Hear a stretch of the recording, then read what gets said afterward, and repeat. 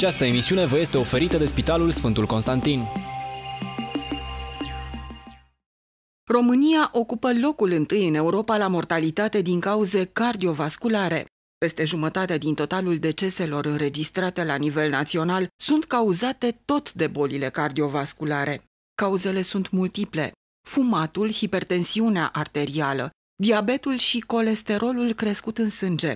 Bolile ce afectează vasele de sânge pot fi însă tratate dacă pacientul se adresează din timp medicului. Aflăm despre afecțiunile vaselor de sânge de la doctorul Viorel Rusu, medic specialist în chirurgie vasculară. Domnul doctor, discutăm astăzi despre chirurgia vasculară, un subiect care interesează pe foarte multă lume.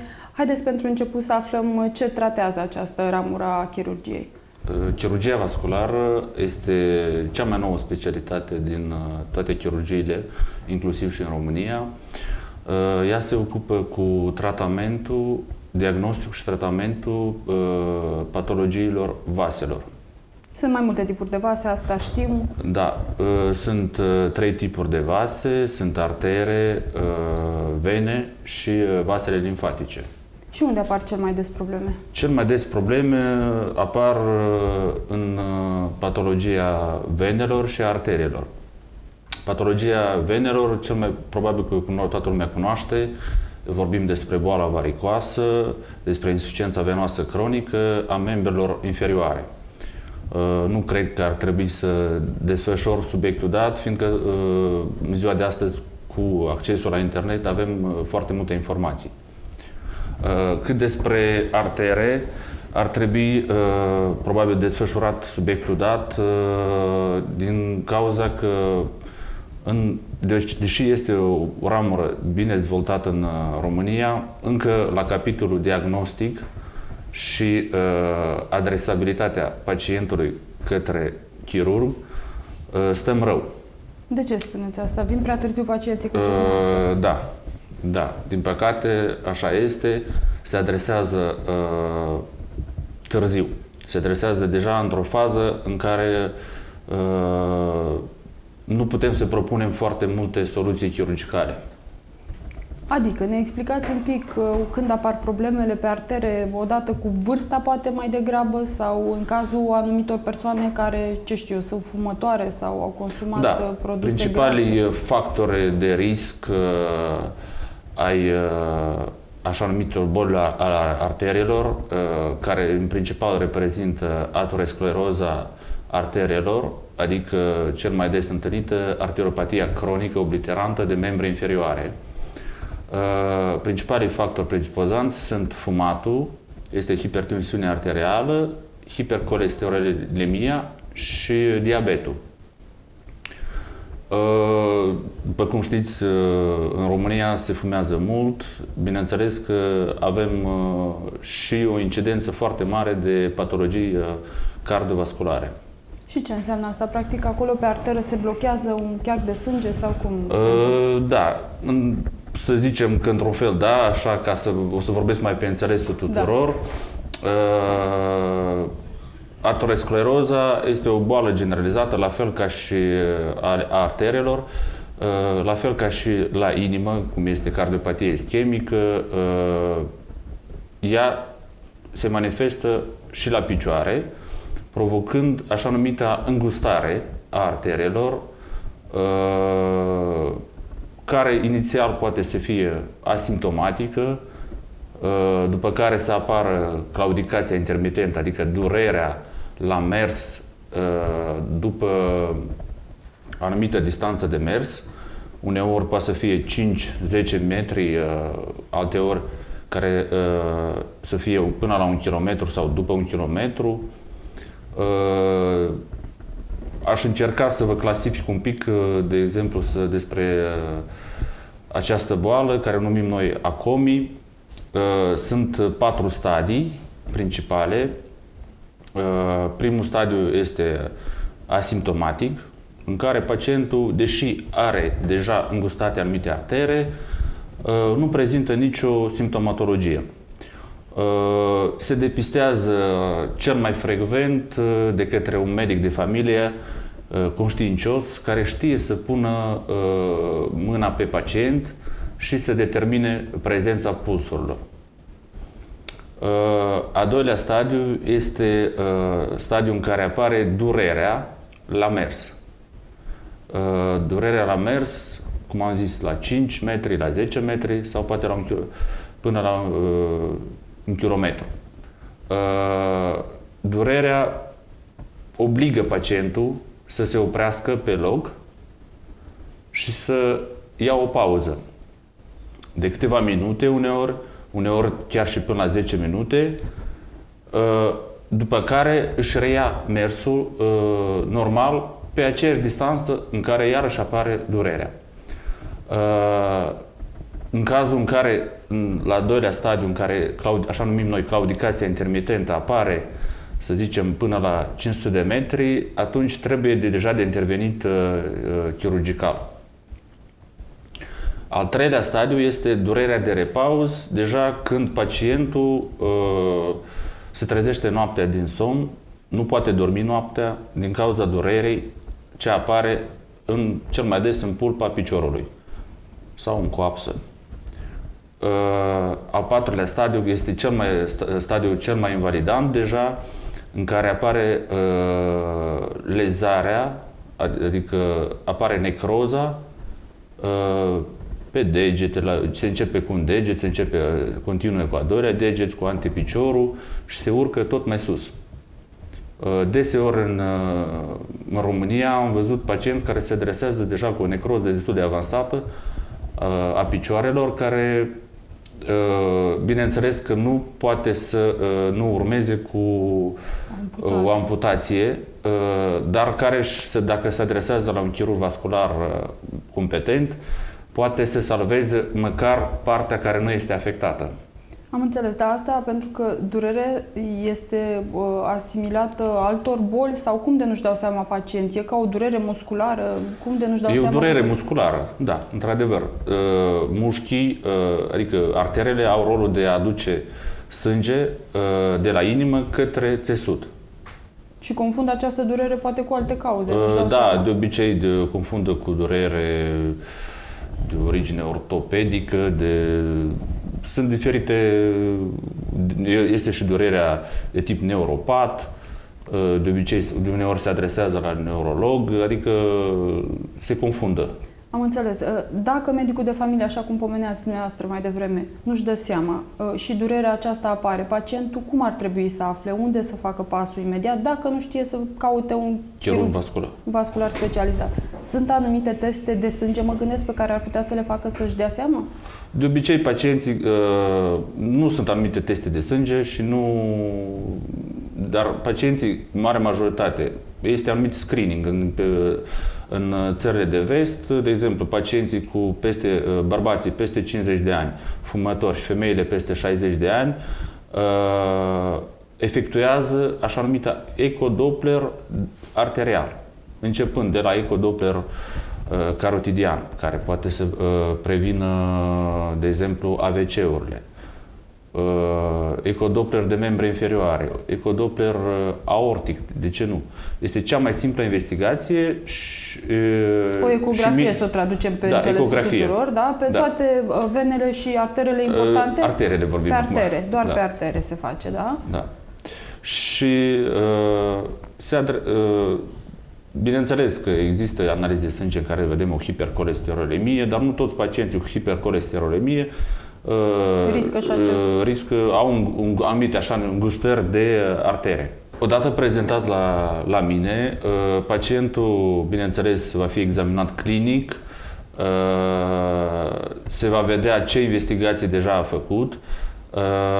De obicei, cel mai, cel mai dese cazuri, eu prescriu să se efectueze un angio-CT, care este o tomografie computerizată de înaltă rezoluție, în care vedem starea uh, arterelor, pe, așa să zic, pe dinăuntru. Vedem cât, uh, cât este de îngustă, lumenul arterial, cât este de uh, afectat în, pe, pe ansamblu ar, uh, arterele organismului dat. Unde apar cel mai adesea probleme? Cel mai des uh, apar probleme la nivelul membrului uh, inferioare. Și asta pentru că? Pentru că pacientul, cum ai zis mai devreme, a fumat, a, avut o, a adus un mod de viață nesănătos, alimentație nesănătoasă, bogat în uh, Am înțeles. colesterol, în grăsimi, da. în grăsimi nesănătoase, cum nesănătoase, le zicem noi, da. da.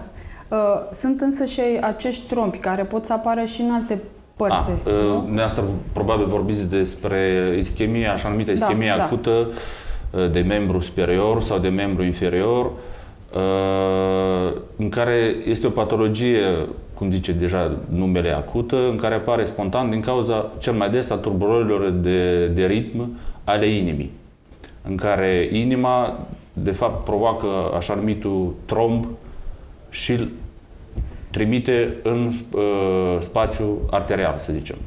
Uh, tot uh, către dumneavoastră se adresează și acești da, pacienți, da? Da, sigur că. Uh, foarte important la acești pacienți uh, este uh, adresabilitatea cât mai rapidă uh, către specialist. Domnul doctor, care este tratamentul impus în cazul arteriopatiilor? Uh, arteriopatiile uh, cronice obliterante, cum le numim noi de membre inferioare, uh, se tratează prin două metode. Prima metodă este cu utilizarea bisturiului, adică se deschide artera, se curăță și se închide la loc cu un paci, să zicem așa, cu un petec, sau se utilizează metoda bypassurilor, adică se ia sânge dintr-o parte a organi- organismului și se aduce în altă parte unde nu este sânge. Cu o anumită proteză sau vena. Vena fiind uh, materialul cel mai bun, material autolog, materialul cel mai bun pentru organismul uman. Și uh, fiind, având și o permeabilitate foarte mare de lungă durată. Practic, ocoliți zona cu problemă, da? Da. Adică, de exemplu, dacă să ne imaginăm o arteră este înfundată la nivelul mijlocul coapsei, atunci se ia sânge de la nivelul inghinal și se aduce până la uh, coapsă inferioară. Ce presupune asta pentru pacient? Există da, o procedură sub anestezie, mă gândesc? Da, este sub anestezie generală, este o operație destul de uh, complicată după, ca tehnică. Uh, Uh, se, uh, pacientul rămâne internat 5 uh, zile, de obicei de la 5 până la 7 zile într-o secție de chirurgie și presupune o recuperare de 2-3 săptămâni post-operator. Operația e de dimensiuni mari sau în funcție de cât de mare e zona afectată? Depinde și de zona afectată. Uneori e nevoie să intrăm în abdomen. Este o operație mult mai complexă. Uh, alteori uh, lucrăm doar pe membru inferior, adică până la urmă depinde de uh, leziunea care o are pacientul dat. Există a doua tehnică de tratament chirurgical, este, care este chirurgia endovasculară. Ce presupune chirurgia endovasculară? Adică pacientului se înțeapă o arteră la nivelul plicii inghinale sau la nivelul brațului, și să introduce anumită sârmă, care noi numim ghiduri, și cu ajutorul unor baloane, balonaș sau uh, stent, stentul reprezintă o carcasă metalică de formă cilindrică, reușim să deschidem artera și uh, să aducem uh, sânge la țesutul afectat. Cumva similar cu ceea ce se întâmplă și la intervențiile pe cord, nu? Uh, da, da, da, sigur că uh, de acolo și s-a început să se dezvolte chirurgia vasculară, anume endovasculară, începând să se delate vasele coronare. E mai uh, apreciată tehnica asta în vest? Mă gândesc că fiind da, fără da, intervenții majore... Da, eu Adică lucrasem în Franța și 80% uh, din intervențiile de, care se efectuau pe în chirurgie vasculară erau intervenții de chirurgie endovasculară. Asta pentru că și recuperarea e mult mai facilă, mă gândesc după aceea. Și... Da, bineînțeles, presupune o... Deja, pacientul poate fi operat, să zicem în ghilimele, uh, de, uh, în anestezie locală, adică imaginați fără anestezie generală, în care spitalizarea este doar de 24 de ore, uneori poate să fie de 48 de ore, în funcție de patologiile asociate ale pacientului, dacă sunt mai grave sau nu. Recuperare rapidă, nu este bisturiu, de fapt recuperarea este foarte rapidă. Uh, se indică în anumite cazuri această procedură, din păcate multe altele trebuie să rămâneți la uh, intervențiile clasice, când e mai uh, grav. Da, depinde de, uh, cel mai deseori, depinde de lungimea leziunii, adică îngustării uh, vasului uh, și de localizarea uh, leziunii. Uh, Uneori, adică noi în spitalul nostru facem și tehnica hibridă, care presupune în același timp de a, de exemplu, de a dilata, așa cum numim noi, angioplastie de arteră, un vas și de a pune un stent și în același timp să curățim, de exemplu, artera la un nivel mai jos sau să facem și un bypass în același timp. Ce înseamnă practic curățirea acestei artere? Uh, se deschide artera, se uh, curăță, se înlătură placa de uh, aterom, aterosclerotică și artera se închide cu un petec, cel mai deseori. Ce, din ce? Din, tot din o grefă? Din... Este un material, cel mai deseori, este un material sintetic, dar noi aici în spital uh, mai folosim și materiale biologice, adică se are în vedere modificate genetic, sunt uh, intermediare între uh, biologice pure și uh, sintetice. Am fiind mult mai acceptate de către pacient, organismul pacientului. La aia mă gândeam că și având și un, și având și un risc mai mic de infecții, și uh, o permeabilitate mult mai mare pe termen lung. Uh, din ce ați constatat dumneavoastră, uh, pacienții care vi se adresează sunt mai degrabă bărbați sau doamne? Unde apar mai des probleme din acestea? Cel mai des sunt pacienții sunt bărbați, să zicem trecuți de vârsta de 50 și fiind fumători, mari fumători, Uh, și cu hipercolesterolemie. Din nefericire, uh, România are un loc fruntaș uh, la capitolul boli cardiovasculare și decese prin, în rândul pacienților. Și cum vă explicați această cifră? Explicația, explicația este simplă. Nu mergem din timp la doctor, nu? Da, bineînțeles, este și cultura pacientului uh, român în care nu duce un mod de viață sănătos, uh, nu uh, fumează, nu practică sportul și mult mai important este adresabilitatea pacientului către chirurgul vascular. Aș vrea să pomenim un pic și despre varice, pe scurt. Știu că doamnele au de obicei probleme cu, cu varicele. Acestea sunt datorate cam acelorași cauze, nu?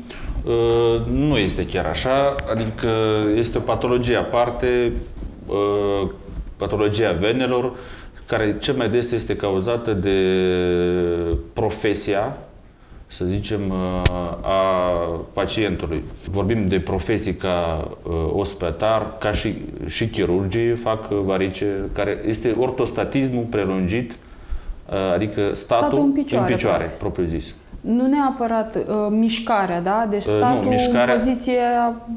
Uh, statul în picioare. Mișcarea uh, ajută la uh, neevoluarea bolii. Ce tratament se impune atunci când uh, avem probleme din acestea cu varicele? Cu varicele, deja uh, putem să prevenim uh, evoluția bolii prin purtarea ciorapelor elastice de compresie medie.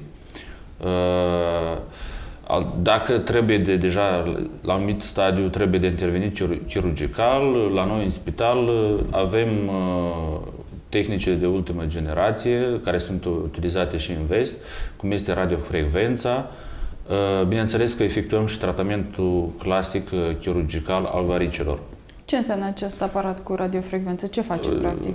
de fapt este un, un aparat în care are o sondă, așa, în care se introduce fără bisturiu în venă și, de fapt, prăjește, așa să zic, între ghilimele, vena și de, de fapt o înlătură din circuitul venos. Domnule doctor, arteroscleroza afectează și carotidele, zone foarte importante uh, în circulația sanguină. Uh, ce înseamnă asta pentru sănătatea noastră? Uh, bineînțeles, este carotidele sunt arterele principale care aduce sânge spre creier. Ateroscleroza, cum am zis, afectează majoritatea arterelor medii, de calibru mediu și, bineînțeles, și carotidele. La fel se produce îngustarea vaselor, uh, a carotidelor și atunci, la un moment dat, uh, avem, din fericire, unii pacienți care uh, fac AVC, accidente vasculare cerebrale, care de obicei, mare majoritate se, au sechele foarte mari, Adică cu paralizie? Cu paralizie. Sau chiar deces. Da, paralizia contralaterală a membru, uh, membrului superior și inferior uh, a persoanei date. Stenozarea uh, este un proces favorizat de asemenea de fumat, diabet, hipertensiune arterială și hipercolesterolemie, mai ales la vârstnici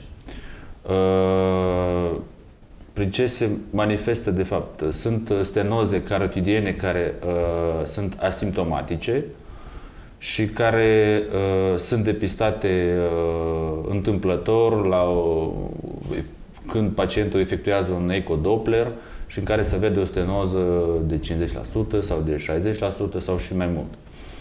Uh, și sunt pacienții simptomatici care, cum am zis, uh, fac uh, accident vascular uh, cerebral nu putem să uh, ne dăm seama din timp, adică nu există și alte simptome pe care organismul să le resimtă, să ne dăm seama că practic creierul nu mai e irigat uh, bine? Uh, da, sunt anumite... Nu știu, amețeli, dureri de cap. Desigur, da, desigur, sunt, cum ziceți, sunt anumite amețeli, sunt apariția unei hemianopsie, adică se vede pete în fața ochilor, Uh, dar nu este un uh, criteriu cert pentru diagnosticul acestor uh, stenoze. În țările cu chirurgie vasculară dezvoltate, operațiile pe carotidă reprezintă o bună parte din activitatea chirurgului vascular. Din păcate, din, probabil din cauza neadresabilității sau uh, a subdiagnosticării uh, leziunilor carotidiene în uh, România, uh, pacienți uh, sunt mai puțin operați. Să vă dau un exemplu. De exemplu, când am lucrat în Franța, uh, într-un centru universitar, se operau undeva în jur de 300 de carotide pe an, Uh, și fiind, compar, să comparăm cu România, la fel într-un centru universitar de aceeași un oraș cam de aceeași mărime, uh, cu același număr de populație, se operau doar 40 de carotide pe an. Este o discrepanță foarte mare. Uh, asta nu înseamnă că nu avem leziuni pe carotide, asta înseamnă că nu este diagnosticată. În spitalul nostru uh, avem o experiență bună în chirurgia carotidei. De obicei, pacientul se internează pentru două zile, Uh, operația se efectuează cu anestezie uh, locoregională, uh, se blătură, cum am zis mai devreme, placa aterosclerotică și se închide vasul cu un anumit paci. Recuperarea este rapidă, pacientul pleacă acasă de obicei la două zile. Domnul doctor, mai am o întrebare vis-a-vis -vis de frecvența îmbolnăvirilor de astfel de acest tip uh, a persoanelor care deja au fost diagnosticate, tratate, uh, există riscul ca aceștia să mai pățească vreodată o astfel de arteroscleroză? Bineînțeles că există. Uh, pacientul, dacă este tratat în anumită zonă lezată, riscă ca zonele care nu au fost tratate să uh, se complice de obicei. Adică să se, uh, vasul să se îngusteze uh, și mai mult și să prezinte din nou o simptomatologie asemănătoare. Deci acești pacienți ar trebui să aibă cu atât mai mult grijă, odată diagnosticați, să meargă și mai des la chirurgul vascular. Da. În, în vest, din practica mea, pacientul vascular, odată ce s-a adresat la chirurgul vascular, pe toată viața rămâne în evidența chirurgului vascular. Adică face vizite periodice, o dată pe an, uneori o dată la 2 ani, uneori și mai, și mai des, în care chirurgul vascular apreciază dacă boala a evoluat sau nu.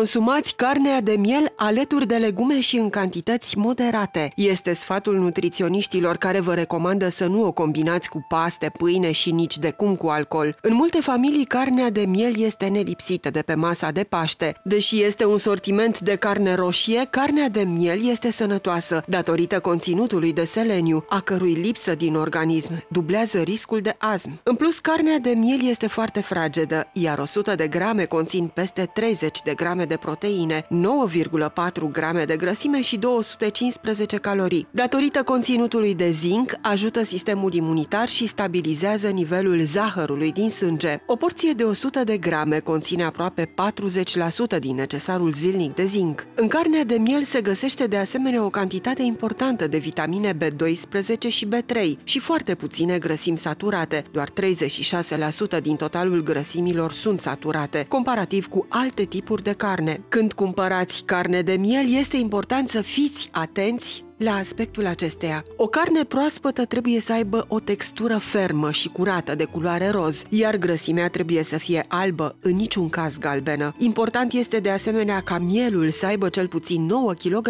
Miei mici au carnea bogată în purine, cristale de acid uric care se depun pe articulații sau rinichi, îngreunează digestia și în timp duc la apariția unor boli grave precum guta, pentru a scăpa de grija purinelor din carne, este suficient să o preparați corect. Modul ideal de gătire se rezumă la fierbere și coacere la temperatură scăzută. Sunt de evitat grătarul, prăjirea și coacerea la temperaturi mari cu rumenire pronunțată. La ciorba de miel, specialiștii vă recomandă să adăugați carnea numai după ce apa a dat în clocot, iar pentru digerarea ușoară a fripturilor se recomandă un baiț din apă, oțet și condimente. Preparatele din miel stropite cu băutură pot declanșa chiar o pancreatită acută. Medicii recomandă consumul cu moderație de carne de miel pentru persoanele care au probleme cu ficatul, rinichii, pancreasul sau pentru cei care au colesterol ridicat, hipertensiune arterială sau trigliceride ridicate.